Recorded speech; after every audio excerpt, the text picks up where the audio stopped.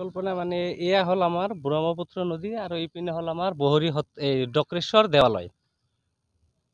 তে মই এইটো ভাবিছিলোঁ, চিন্তা কৰিছিলোঁ যে এইটোৰ আমাৰ স্থায়ীভাৱে সমাধানটো লাগে। এইটো যেনেকুৱা আপোনাৰ বান্ধ দিছে, এই বান্ধটো ৰোধ নহয়। আমাৰ এই সমস্যাৰ সমাধানটো নহয়। বিশেষকৈ মই এতিয়া চৰকাৰক আহ্বান জনাইছোঁ যে মই ইয়াৰ আগতে নিউজ কৰিছিলোঁ যে আপোনালোকৰ মাধ্যমেৰে চৰকাৰক বা সমগ্ৰ অসমবাসীক আৰু চেঙা, বিশেষকৈ আমাৰ চেঙা সমষ্টিবাসীক মই জনাইছিলোঁ যে এইটো আমাৰ সম্পূৰ্ণভাৱে স্থায়ীভাৱে আমাৰ সমাধান লাগে। আৰু মোৰ প্ৰচেষ্টাত যদি এইটো আপোনালোকে চৰকাৰে যদি, আপোনালোকৰ মাধ্যমেৰে চৰকাৰে যদি আপোনাৰ দৃষ্টিগোচৰ দিয়ে যে এইটো কাম তুমি কেনেকুৱা পৰিকল্পনাটো কৰিছা, তা আমাক যদি অলপ জনাই দিয়া বা যি আপোনাৰ পৰামৰ্শ দিয়া বা তুমি নিজে থাকি কেনে কৰাই দিয়া এইটো সম্পূৰ্ণভাৱে আমি স্থায়ীভাৱে সমাধানটো মই দিব পাৰিম। যেনেকুৱা পৰিকল্পনা মই কৰিছিলোঁ যেনেকৈ ইয়াৰ পৰা কামটো কৰিলে ইয়াৰ পৰা কামটো কৰিলে আমি এনেকুৱা শ্ল'পিং হৈ চিধা গুচি যাম।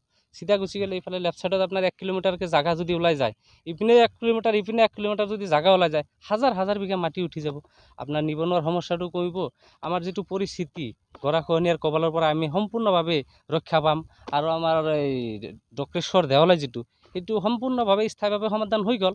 সেইটো আমি তাৰমানে চৰকাৰক আপোনালোকৰ মাধ্যমতে আমি চৰকাৰক অনুৰোধ জনাইছোঁ যে যাতে এইটো মোৰ পৰিকল্পনাটো চৰকাৰে যাতে গ্ৰহণ কৰে আৰু কেনেকৈ এইটো পৰিকল্পনাটো মই মোৰ ধাৰাত যাতে, মোৰ চিন্তাত যাতে আমি এই ডক্ৰেশ্বৰ দেৱালয় আৰু বহৰী সত্ৰখন মই ৰক্ষা কৰিব পাৰোঁ। আচলতে কেনেকুৱা পৰিকল্পনা হাতত লৈছে কওকচোন আপুনি। কেনেকুৱা হ'ব পৰিকল্পনা পৰিকল্পনাটো ধৰক এইটো ব্ৰহ্মপুত্ৰ নদী। আৰু ইপিনে আমাৰ এই ডক্ৰেশ্বৰ দেৱালয়টো ইয়াতে ওচৰতে পঞ্চাছ মিটাৰমান দূৰত্ব আছে।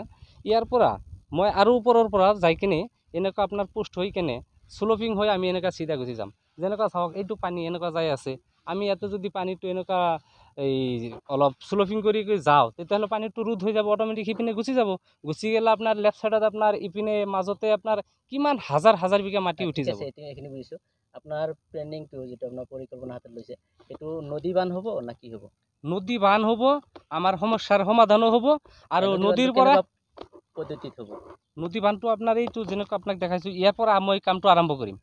পকী হ'ব না পকী পোষ্ট হ'ব ইয়াতে। পোষ্ট হ'ব অ, কিহৰ ইয়াতে জৰিয়তে পোষ্ট- কৰিব? হা? কিহৰ জৰিয়তে কৰিছে? এইটো মেচিনৰ জৰিয়তে।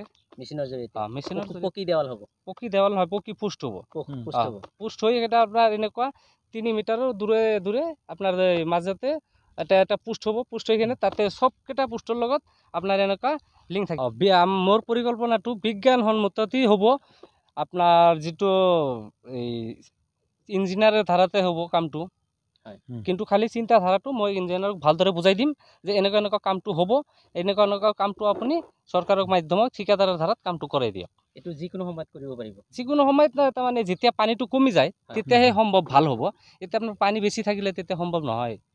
এতিয়া আপোনাৰ পৰিকল্পনাটো এতিয়া নহয়। এতিয়া যেতিয়া আপোনাৰ শুকাব নদীখন তেতিয়াহে কামটো হ'ব। তাৰমানে সময়টোতো আপোনাৰ শ্বৰ্টকাট লৈছোঁ যে তিনি মাহৰ ভিতৰত সম্পূৰ্ণভাৱে আমাৰ এই চেঙা সমষ্টিলৈ আমবাদ দহ কিলোমিটাৰ আছে। আৰু আমি দুই কিলোমিটাৰ ইফালে সোমাই যাব লাগিব। দহ কিলোমিটাৰ ইপিনে আছে দুই কিলোমিটাৰ সোমাই গ'লে তেতিয়াহ'লে আপোনাৰ কিমান লাখ লাখ বিঘা মাটি উঠিব নদীৰ পৰা? আৰু কিমান যে আপুনি যিটো পৰিকল্পনা হাতত লৈছে এনেকুৱা পৰিকল্পনা আৰু ক'ৰবাত হৈছে নেকি? এনেকুৱা পৰিকল্পনাটো ধৰক আপোনাৰ ইমান ডাঙৰ নদীতটো আমি কৰিব পৰা নাই। কিন্তু আমি যিকোনো জেগাত তাৰমানে বিলত মই এনেকুৱা পৰিকল্পনা কৰিছোঁ। মই এইটো ছাকচেছ হৈছোঁ এইটো মই কৰিব পাৰিম। আৰু এইটো আ, তাৰমানে তাৰ পৰাই লৈ কেনে মই ইয়াতে এনেকুৱা পৰিচেষ্টা চেষ্টাতে মই কামটো কৰিম বুলি ভাবিছোঁ আৰু মই কৰি দেখাই দিব পাৰিম এইটো।